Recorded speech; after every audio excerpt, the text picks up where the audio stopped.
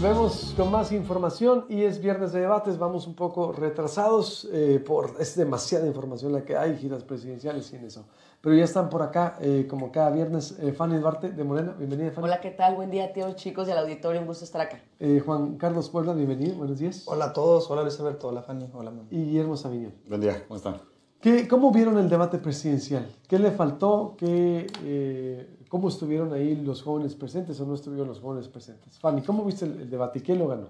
Fue un debate muy importante, eh, derivado de que primeramente tenemos a, por primera vez dos candidatas mujeres y eso también marcó cierta tendencia en el debate. Y hay que decirlo, eh, esto, esto nos impresiona y sobre todo también impacta en las juventudes porque estamos viviendo momentos, como ya lo planteé, históricos.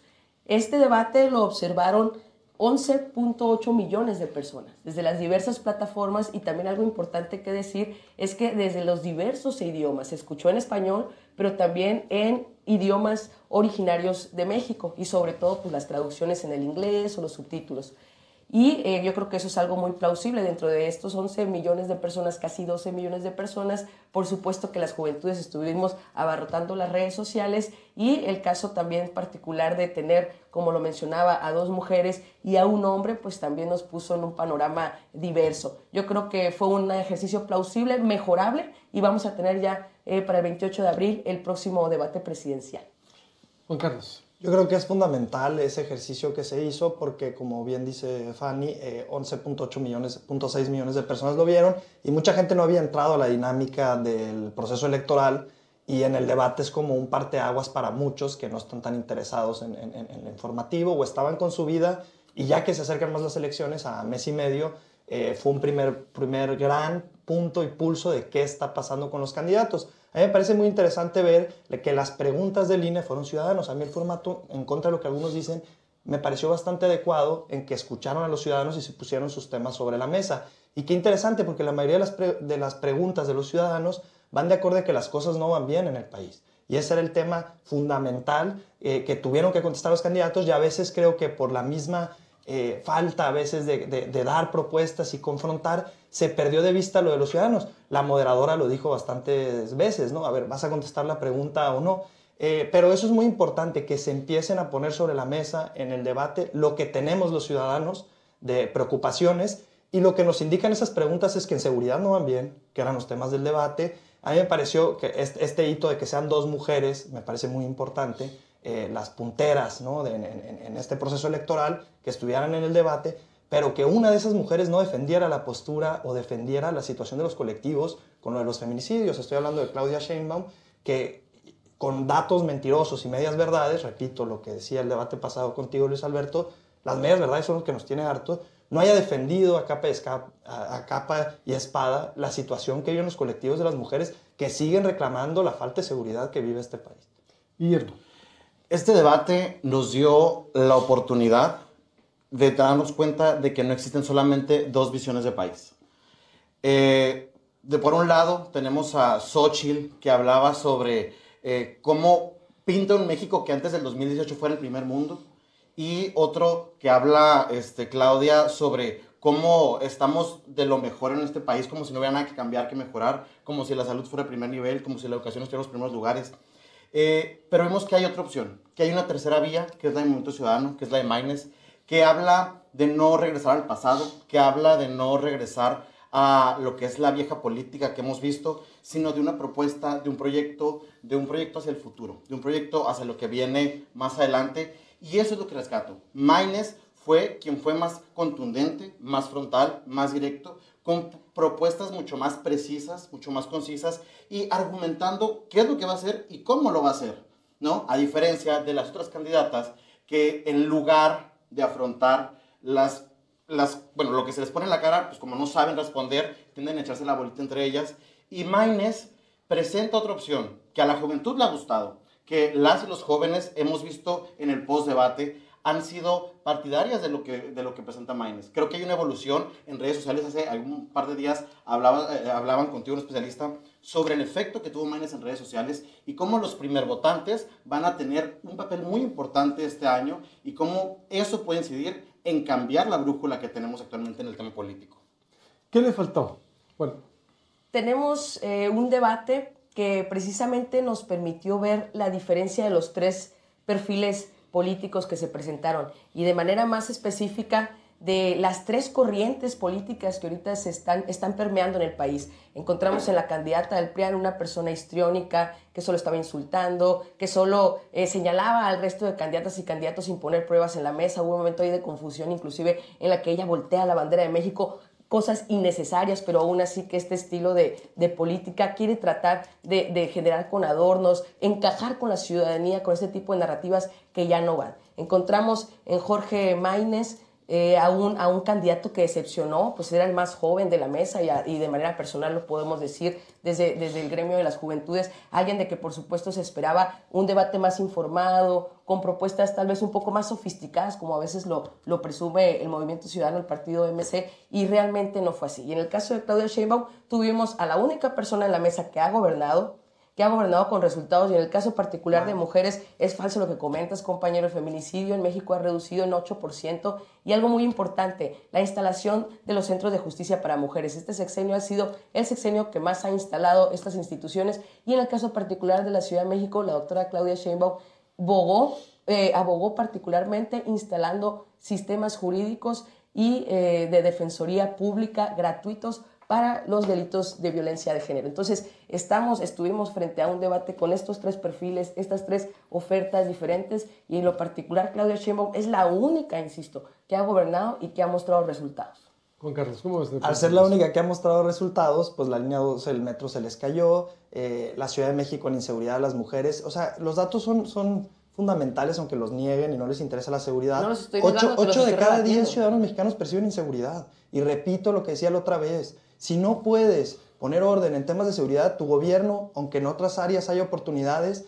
eh, está fallando, porque para eso es el Estado. Entonces, tuvimos una candidata como Claudia Sheinbaum en el debate que hizo lo que han hecho este sexenio, negar la problemática de seguridad, no les interesa nuestra seguridad y la muerte, y tan no les interesa y vamos a pasar por ello que a veces incluso abrazan a los criminales, incluso a criminales de otros países, porque así lo está haciendo este gobierno y Sheinbaum es cómplice de eso. La realidad es que nuestra, nuestra situación es de inseguridad, es de que las obras públicas que hizo Sheinbaum se le cayó la línea 12 del metro, es que a veces lo, lo dejamos como, ah, bueno, pasó 200, personas alrededor de muertos y heridos más, la línea 12 del transporte público y fue por un problema de mantenimiento. Si eso creemos que son resultados, Las estamos muy no fueron 200, ¿eh? O sea, no vengas a, la mesa con falsedades. Accidentados Ahorita vamos a hablar de de seguridad, pero con, y la línea Y la línea 12 del metro, que si se te cae el transporte público, no puedes decir que es un, es un éxito su gobierno, que la doctora Claudia Sheinbaum ha ganado premios. Ha, ha, ganado premios. Eh, Juan Carlos. Y, y, te voy a decir, Xochitl Galvez, ¿qué propone? Seguridad la cárcel 2 por 1 doble pena a los corruptos.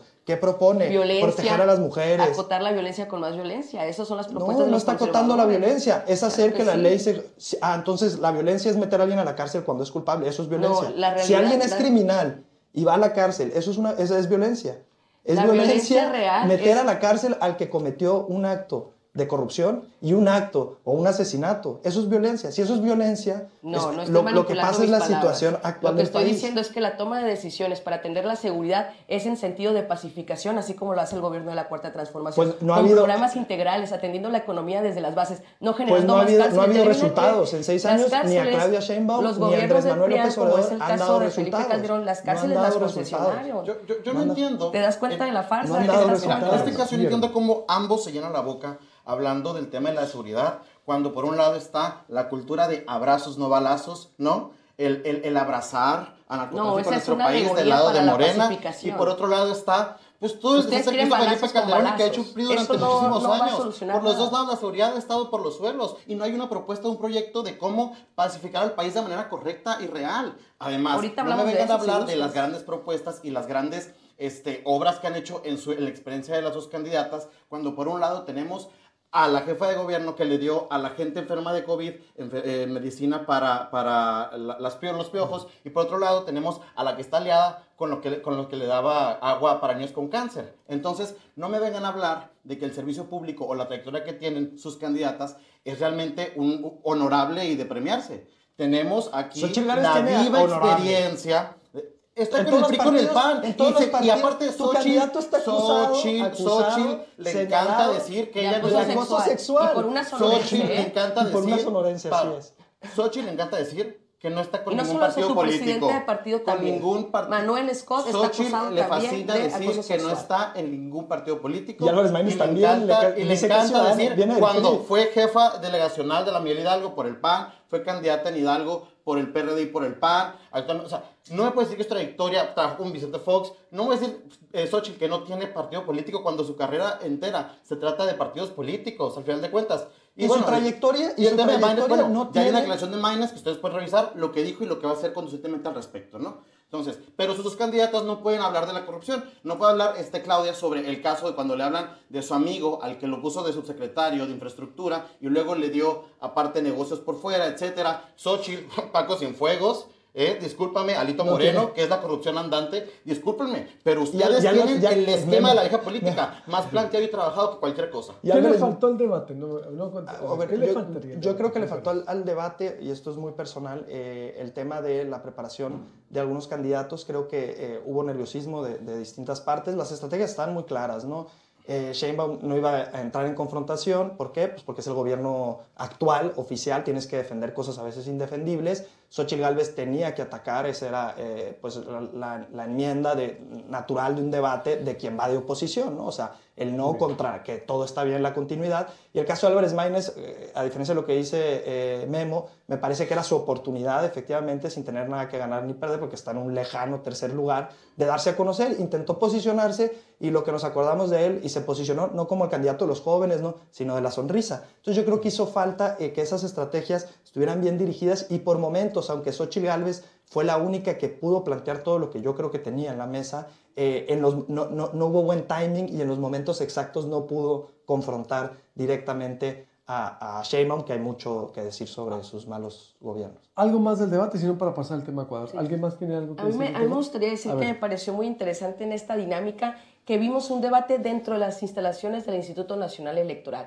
Antes se hacían en foros televisivos o inclusive en espacios alternos, pero esta vez, eh, preciso entrando en el, en, el, en, el, en el contexto democrático, se hace en la sala de sesiones del Consejo eh, Nacional, del Consejo General del INE. Entonces, vamos viendo también cómo desde México, desde la, la perspectiva de la democracia mexicana, queremos institucionalizar pues esta dinámica de los debates. ¿Y qué le faltaría? Yo creo que es la oportunidad en que los candidatos, las candidatas puedan dialogar entre sí, debatir entre sí, más allá que eh, seguir eh, la ruta que le marquen los moderadores. ¿no?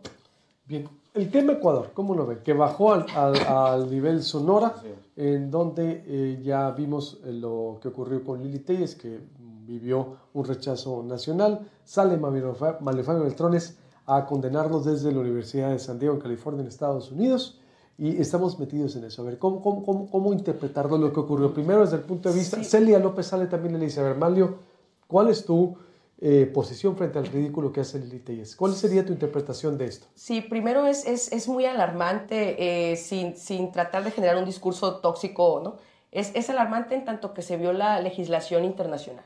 El Pacto de Viena es violado, que es particularmente el que nos organiza para generar relaciones diplomáticas a nivel internacional y vemos que en el artículo 22 está protegido las, las embajadas como territorio federal y esto es lo que se viola. En el caso Sonora tenemos a una contienda en el Senado de perfiles que tienen eh, alcance nacional e internacional y es por eso que entre ellos mismos atraen la discusión. Y algo que me parece muy valioso es que para Sonora debe de ser relevante estos temas diplomáticos ya que somos frontera. En el caso de la Cuarta Transformación, por supuesto, nuestra candidata al Senado por el Partido del Trabajo, Célida López, señaló de malinchista a Lili Telles porque, porque la señora eh, Lili Telles, en un arranque de politizar esta tragedia, eh, que no ha pasado a mayores, que ha sido un asunto solo diplomático, pero en ese afán de politizar el tema, sale a ponerse del lado de una embajada, bueno, de un país eh, del Ecuador, que están violando no solo las leyes internacionales, sino también agrede, ya publicaron videos desde, eh, desde el gobierno de México, agrede a eh, el embajador que estaba eh, eh, ocupando en ese momento las instalaciones, a uno de nuestros embajadores, y bueno, también inclusive salen con vehículos casi atropellando al mismo embajador mexicano que intentaba detener la, la situación, y Lili Telles, con toda insensibilidad, sale a defender al gobierno de Ecuador. ¿Cómo ves tú? Yo- yo- yo creo que la el- respuesta de Beltrones. El, el- el panorama eh, real de lo que está pasando en la política exterior mexicana es muy relevante para los senadores porque la audiencia debe, debe saber que son corresponsables el Senado y el presidente de la política exterior del país. Un senador tiene todo el derecho de opinar sobre esos temas y es relevante. ¿Qué, qué- qué está pasando? Hay tres embajadores no gratos en el sexenio de Andrés Manuel López Obrador. La preocupación es que la política exterior en México, algo estamos haciendo que estamos perdiendo un liderazgo en Latinoamérica, porque ciertos países nos están empezando a, a- hacer un lado, gobiernos actuales, cuando México siempre había sido eh, un líder en Latinoamérica y no se está respetando un principio interno del país que es el de no intervención, porque si nos están sacando de esos países, estoy hablando de Ecuador, estoy hablando de Bolivia y estoy hablando de Perú, si nos están sacando de esos países quiere decir que algo no estamos haciendo bien como política exterior. Lili Telles sale y da su declaración de que se avergüenza de esa situación de la política exterior. Sus formas no nos pueden parecer o no me puede parecer, pero en la alianza, a diferencia de Morena, no controlan la forma de pensamiento. Ese es el fuerte, creer en la pluralidad. Y, Man- Fabio Beltrones, con mucha experiencia como senador y en política exterior, da el diagnóstico perfecto. Aquí hay dos problemas. El primero, que la política exterior en México en este sexenio no fue como esperábamos que fuera y los resultados están en tres países, nos han declarado no gratos, ¿no? a los embajadores. Y el segundo problema, que yo creo que todos los mexicanos estamos de acuerdo, es que se está violando un tratado internacional por parte del gobierno de Ecuador de entrar, como lo hicieron con militares, a ir por un personaje pues deleznable para los ecuatorianos, que es Jorge Glass, el ex vicepresidente acusado con nexos con el narcotráfico. Por eso me parece que este problema es de justo falta de experiencia de senadores actuales y falta de experiencia del presidente en política exterior. Y cuando Mario Fabio Beltrones llega al Senado, con su experiencia y su capacidad, va a ayudar a hacer una política exterior que vuelva a poner a México como un estandarte en temas de Oye, lo están Latinoamérica. persiguiendo en Y el Andorra. líder- y el Él no puede líder- tocar otros países ese señor Latinoamérica, porque tiene Latinoamérica, búsquedas, tiene Latinoamérica. persecuciones el líder- por delitos y- y- tengo- internacionales. estoy no vas a hablando de decir que él Latinoamérica. va a defender a Sonora y a país como Andorra. senador. Pero, eh, No, no eh, vengas aquí a cubrir sus mentiras. Tiene procesos judiciales, no, no tiene, no tiene, tiene una investigación periodística muy, con Es muchos, Hasta él con mismo muchos dijo que supuestos. contrató abogados para Ah, Como. Andrés Manuel también. Hasta pues él tiene- mismo, el entonces, propio a ver, vamos a ver, aceptó ya que se vamos- amparó ante el caso va- Andorra. vamos, vamos a ver el tema de política exterior. ¿no? Eh, entonces, no el, preside- eso, el presidente, el presidente tiene un gravísimo problema con cómo está interviniendo dogmáticamente por su ideología y quiere llevar la 4T, no sé si se cree que esto de la República Bolivariana, llevar la 4T a países que no le corresponde, y por otro lado Ecuador responde No, con un presidente, con un presidente, con un presidente. Con- y, a, y a los personajes que ha protegido es Evo Morales, Pedro Ramírez, Jorge Glass, si tú me dijeras, oye, y, y si hay una violación clara de Ecuador, eres xenófobo. si- no, no, no, simplemente con, acusaciones de sus países. ¿Por qué, Critico por la qué defe- criticas la cri- defensa de estas naciones? Porque Cuando critico la defensa de estos países víctimas porque- de golpes de Estado porque la soberanía, desde- los tres países, los tres países estuvieron Vamos a desde. Occidente. Entonces, Vamos ahora con Guillermo. Ya, estamos cerrando. por Sí, lo que quiero decir también. Eh, eh, por un lado, hemos, nos hemos dado cuenta que el manejo de las relaciones internacionales por parte de Andrés Manuel López Obrador han sido muy malas, pero pues no podemos dejar por un lado que se vulnere la soberanía de nuestro país. Eso es muy importante. Pero si leemos entre líneas algo muy importante también es que si ahorita como candidatos Lili Telles y Mario Fabio Beltrones no se pueden poner de acuerdo en una postura al respecto, ¿qué va a pasar si los dos llegan al Senado? No van a poner de, Memo, no se van a poner de acuerdo. No se van a Están de poner de acuerdo en está acuerdo la y van a votar uno a favor de. No, pero, ver, otro pero, no. hay una división. Hay una división en lo que están Y de lo que la gente está es apostando la en lo política, que- sí, en- en en la la política. frente. la política Pero exterior Beltrones mexicana. condena, lo condena la claramente, situación. sin ambigüedades. Beltrones eh, muestra la indignación, ve, muestra la violación. Y Lili no, esto no se había visto Exactamente, en, la historia, no se había visto. Exactamente. en Y aparte. Juan Carlos, Lili Telles, a ver, tenemos que entender algo, no, Juan Carlos. Lili Telles, ¿Qué no, opina, permíteme, ¿qué opina Juan Carlos de esto? Li- Lili Telles después sí condenó el acto, en el momento no. Pero yo, yo voy a ser claro con eso, una democracia plural y una alianza donde hay distintos Pero hay actores una, hay- políticos. yo te pregunto, ¿hay una división? No, no, yo estoy en el equipo Oye, de trabajo los no dos. No hay una división. división. No hay una Puede haber una diferencia de, Permíteme, pero tú una dices, visión ya, confrontativa no ¿Hay división? Eh, claro que ver, ¿qué sí, y lo que planteo también, atendiendo lo que decía Juan Carlos, él aplaudía que Mario Fabio Beltrones es un gran diplomático, etcétera. Oye, no se puede poner ni de acuerdo con su compañera de fórmula, primero ni siquiera para hacer eventos juntos en el Estado, que ya están en campaña desde hace un mes, y mucho menos ahora para sacar Sí, y pues hay ¿eh? públicos. Si hay ¿no? No, división, no hay una si hay una división, hay una diferencia. Vamos, vamos. porque quienes se jactan de ser la oposición en nuestro país no pueden ponerse de acuerdo. Claro y el día que haya pueden. votaciones en el Senado, va a votar uno en favor de la 4T, el otro no, o se va a abstener. Aquí no hay Claro, un proyecto claro consolidado de ser, de ser oposición. ¿Esta es la Carlos, conclusión? la- vamos a, vamos, yo- Juan Carlos, vamos a dejar hablar Juan Carlos. ¿Cuál, cuál es tu posición? Aquí MC y Morena eh, eh, coinciden y la opinión pública, la mayoría de la opinión pública coincide también. Hay esa, esa división entre ambos que no se había visto. Siempre, bueno, siempre ha habido, pero no públicamente. ¿Tú qué dices al respecto? ¿Estás en el equipo de ellos? Dices que no hay. No, no existe una confrontación, puede haber diversidad de, de- de percepciones de distintos candidatos. ¿Por qué? Porque la visión de la alianza es de una democracia plural. Lo que defiende son los distintos puntos de vista que enriquecen cualquier política pública, sea exterior o interior, y es parte de una libertad natural de expresión que tenemos. Que en ciertos partidos, como en Morena, crean que lo más patriótico es decirle que sí a todo un presidente y estar Como juntitos en ¿no? cada evento, en el cada, en cada, en cada evento.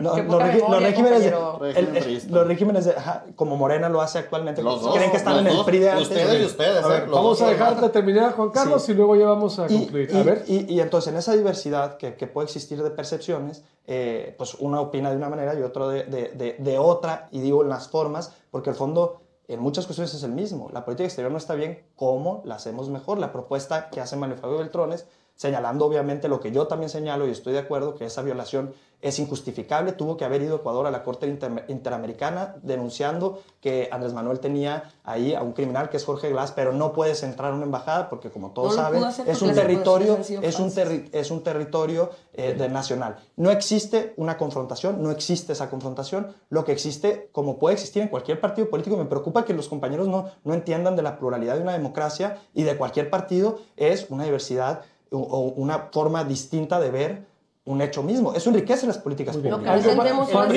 Permíteme, Guillermo, permíteme, a ver, Lo que no algo de este tema para conclusión. Lo que no Fanny. entendemos, Juan Carlos, es la incongruencia de los partidos que tú defiendes. Al ahorita ir como amigos cuando antes entre ellos se comían y también consumieron a México. Es que lo que tú Quiero no entiendes la Juan Carlos, hablando quiero Fanny. A ver, concluir a la compañera, eh, hablando del contexto real internacional que hay en México. Primero que nada, tenemos que la CELAC, el Consejo de Estados Latinoamericanos y Caribeños, fue presidida por Andrés Manuel López Obrador en sus primeros 10 años, esto seleccionado por los diversos países latinoamericanos. La OEA también estuvo organizada por parte de embajadores mexicanos durante dos años y también el Consejo de Seguridad de la ONU fue presidido por Marcelo Ebrard cuando estuvo de canciller eh, del gobierno de México. Otro tema importante, tenemos un peso fuerte, tenemos una economía fuerte reconocida a nivel internacional y algo también de reconocerse en el panorama político eh, exterior es que somos parte del G20. El G20 es el grupo de las 20 economías más importantes de, de todo el mundo, junto con Estados Unidos, Eso no Canadá, logró Morena. eh,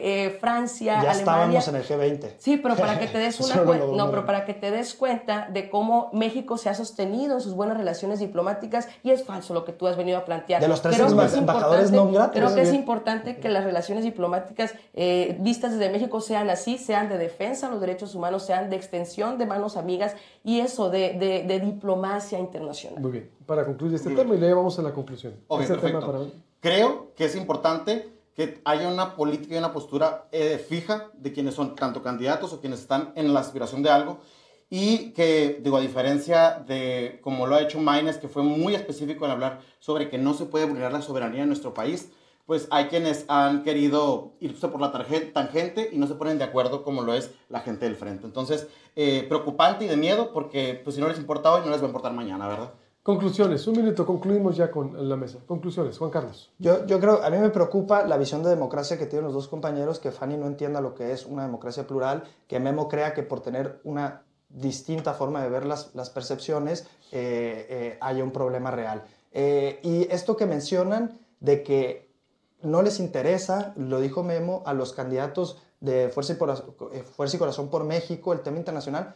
eh, yo no vi a Heriberto ni a Lorenia siendo senadores hablando de la política exterior. Candidatos al Senado. Y bueno, candidatos al Senado. Y lo que quiero señalar ya para concluir es, repito lo que decía el programa pasado, hay dos visiones de democracia, una democracia que no funciona, totalitaria, autócrata, que busca manipular, que busca meter sus manos incluso en otros países y respetan el la primer regla básica de la política exterior, que es la de la soberanía también de otros territorios. Y nos vulneraron a los mexicanos, y estoy completamente reprobando el acto de Ecuador, cuando hay instancias internacionales. Ya no estamos en la guerra de conservadores y liberales en México del siglo XIX, siglo XVIII, ya no estamos en ese contexto, estamos en, en democracias modernas, en democracias con gobiernos de coalición que garantizan los derechos de cada uno de los ciudadanos y sus formas distintas de ver el mundo. Guillermo, concluir. No podemos permitir que nos quieran jugar el dedo en la boca. El cuento de que vamos a continuar como estamos, pues es terrorífico, junto con el tema de Fanny, de Claudia, de Morena, da miedo. ¿Usted quiere estar como estamos ahorita? Pues yo no. Estamos muy mal. Y por otro lado, tenemos a la visión de la vieja política diciendo que hay que creer en ellos. Por Dios, son los principales aliados de Morena. Y si no me creen, en las principales votaciones que ha habido en el Congreso de la Unión, en la Cámara de Diputados, quienes han votado a favor las locuras del presidente Andrés Manuel López Obrador ha sido PRI, PAN, PRD y Morena. Así que el cuento de que son oposición no nos lo tragamos, no nos lo creemos. Si usted quiere una visión diferente para México, hay una opción, se llama Movimiento Ciudadano. No tiene por qué elegir entre los peores y los malos, entre los corruptos y los incompetentes. Hay una visión de propuestas del futuro muy específica, muy clara y con lo que necesitamos. El futuro diferente, el futuro de México con Maines. Fanny, para cerrar.